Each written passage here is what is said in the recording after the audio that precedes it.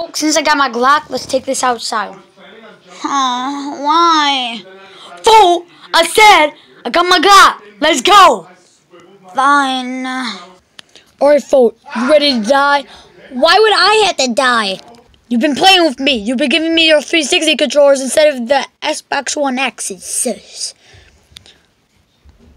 Yeah, bro. Why? Die. Yeah! Yeah, folk, that's right.